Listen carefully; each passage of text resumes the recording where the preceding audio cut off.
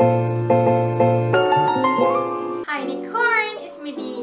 Back to my channel. Hari ini aku excited banget karena aku bakalan racunin ke kalian semua Salah satu brand skincare lokal yang lagi ngetrend banget Yang lagi nge-hype, nge-hits banget di dunia per tiktokan dan di dunia per skincarean ini Yaitu namanya adalah Glow Series dari Skin House Sebenarnya aku udah tau dari lama sih si Skin House ini Tapi mereka waktu itu belum ngeluarin rangkaian Glow Series ini. Aku tahu mereka itu dulu dari Tamanu Oil mereka yang terkenal banget di mana-mana. Dan setelah aku ngeliat dia ini di TikTok dan aku juga lihat reviewnya di YouTube. Kalau nggak salah udah pernah di review sama Kak Suhai Salim sama Mary Angeline juga udah pernah. Makanya aku super excited banget untuk ngeracunin kalian. So without any further ado kita langsung masuk aja ke produk yang pertama. Jadi produk yang pertama ini adalah face washnya. Jadi produk ini itu adalah yang pertama kali aku cobain. Untuk packagingnya dia ini plastik dan simple which is my favorito dan harga face wash ini nggak mahal dengan kandungan yang menurut aku aman banget ini udah aku analisa di Cost DNA dan skinkarisma.com Kandungannya ini memang sedikit Jadi dia ini menerapkan yang namanya minimal ingredients.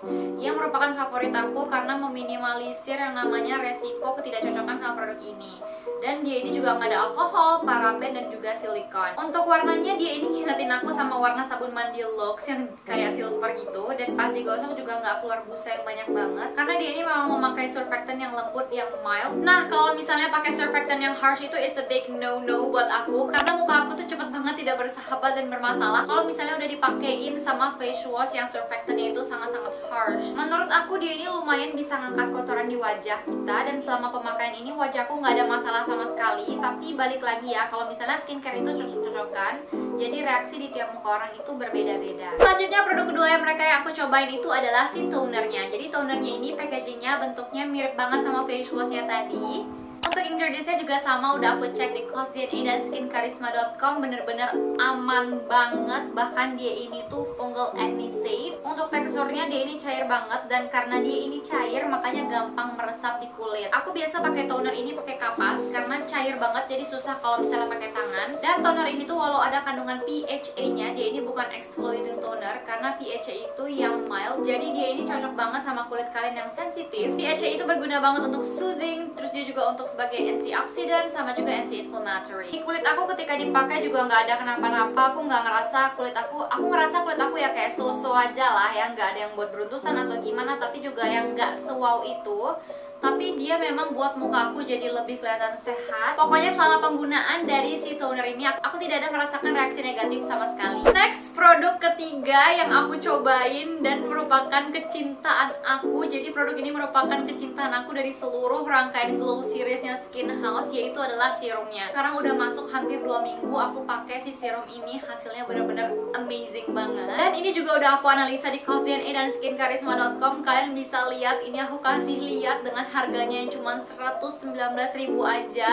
Dengan kandungan yang sebagus ini tuh wow amazing skin house hands down to skin house pokoknya di dalam ingredientsnya ini juga ada yang namanya niacinamide, gluconolactone, zinc, dan kojic acid yang di mana empat kandungannya itu bisa ngeboost regenerasi kulit kalian sehingga sel kulit matinya itu bisa cepat terangkat dan bisa untuk mencerahkan wajah juga. Kojic acid dan niacinamide itu nggak usah diragukan lagi layak kehebatannya dalam mencerahkan wajah dan juga meregenerasi kulit terus juga dia berguna banget untuk yang namanya menghilangkan dark spot atau bintik-bintik hitam di wajah kalian.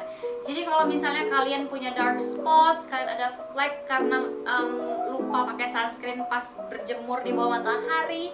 Nih ini tuh kayak penyelamat banget. Jadi di serum ini walaupun dia banyak kandungan eksfoliasinya tapi di muka aku dia nggak ada reaksi yang kayak cekat cekit gitu loh. Dan juga bagi kalian yang mungkin masih pemula atau awam sama eksfoliasi kalian nggak banget sih menurut aku pakein serum ini. Karena di muka aku I don't know why mungkin karena udah kebal atau karena memang serumnya ini memang seperti itu kerjanya. Tapi dia sama sekali nggak menimbulkan reaksi yang berlebihan gitu loh. Teksturnya ini kental tapi begitu diaplikasikan ke kulit dia akan jadi lumer cair gini jadinya gampang menyerap dan gak lengket. Begitu selesai diaplikasikan akan buat muka kalian kelihatan super sehat dan glowing abis tapi glowing ini yang sehat itu ya bukan yang berminyak yang greasy gitu. Kalian bisa lihat muka aku jadi kelihatan lebih pelam banget. Next di rangkaian glow series dari Skin House ini sebenarnya juga ada day and night creamnya. Tapi jujur aku belum pakai kedua ini tapi udah aku analisa di skinkarisma.com dan juga di costdna.com kalau dua-duanya ini aman banget jadi produk skin house yang di glow series ini benar-benar nggak ada kandungan yang macam-macam. Untuk day cream ini ada kandungan titanium dioxide dan zinc oxide yang di mana dua komponen sunscreen. Jadi day cream ini seperti yang ada tulisannya dia ini with sunscreen. Jadi ini dia udah contain sunscreen di dalamnya. Lalu di dalam daily cream ini juga juga ada contain yang niacinamide kayak yang aku tadi udah liatin. Out kayak aku udah tadi liatin di DNA dan skincarisma.com kalau misalnya di cream ini ada niacinamide-nya Walaupun sedikit sih konsistensi niacinamide-nya tapi ya lumayan lah ya. Teksturnya sendiri dia ini creamy gitu dan sepertinya kalau diaplikasikan ke muka akan agak greasy. Mungkin ini lebih cocok untuk yang mukanya nggak terlalu berminyak sih menurut aku ya. Mungkin karena ada kandungan sunflower oilnya ini, jadi mungkin agak lama dia untuk menyerap ke dalam kulit. Tapi dia ini buat tangan aku setelah diaplikasikan day cream ini jadi lebih lembut daripada sebelum dipakaikan ini. Selanjutnya untuk night creamnya ini dia juga sama sama kayak si serumnya ini. Dia ini ada ada kandungan niacinamide, ada gluconolactone, ada zinc dan kojic acid. Tapi rada beda karena di night cream ini si niacinamide itu berada di posisi paling atas dan di sebelah aqua yang di mana berarti makin ke atas maka makin banyak ya kandungannya. Teksturnya sendiri dia ini mirip sama day creamnya tapi lebih kental sedikit aja dan dia ini feelsnya bakal membuat muka kalian jadi lembut parah dan glowing. Karena pas aku coba di tangan dia ini juga buat tangan aku jadi lembut kayak pantat bayi dan ada bikin glow gitu loh. Oke berakhir sudah video racun kali ini. Kalau misalnya menurut aku kesimpulannya adalah aku paling suka si serum ini. Pokoknya aku paling paling paling suka banget serum ini dari rangkaian glow seriesnya Skin House. Dan menurut aku rangkaian glow series dari Skin House ini cocok banget bagi kalian yang pemula yang mungkin baru kayak awam banget sama dunia perskincarean. Kalian mungkin bisa untuk beli satu paketnya karena di satu paket ini kalian udah bisa kayak dapat banyak banget gitu dan harganya juga gak pricey sama sekali apalagi kalau misalnya kalian beli yang paketan. Nah kalau misalnya kalian berencana untuk beli satu rangkaian dari Glow Series ini kalian harus cobanya secara satu-satu. Jadi misalnya uh, face washnya dulu kalian cobain udah sama seminggu atau dua minggu baru kalian pakai si tonernya terus serumnya terus day and night creamnya. Jadi diganti-gantian gitu supaya kalian tahu yang mana yang cocok yang mana yang gak cocok di kulit kalian. Karena belum tentu satu rangkaian dari si Skin House ini ada daily cream, face wash dan lain-lain ini belum tentu semuanya cocok untuk kalian. Kayak misalnya aku, aku misalnya paling cocok banget sama serum ini. Nah, aku kan belum cobain nih daily cream sama si night cream ini. Nah, aku belum tahu mereka cocok apa enggak untuk kulit aku.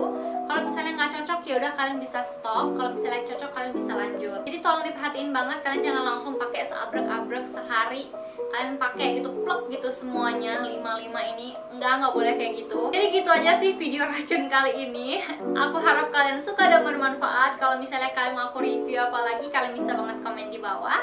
Dan jangan lupa untuk bergabung bersama keluarga besar unicorn ini dengan klik tombol subscribe. Bye bye